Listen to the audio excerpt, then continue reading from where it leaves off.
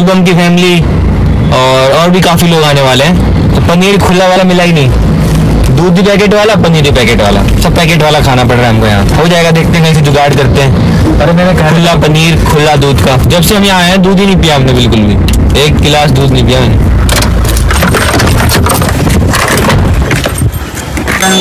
शांति विधवे शांतिरातो शांतिरोकदय सर्वलोकं मयि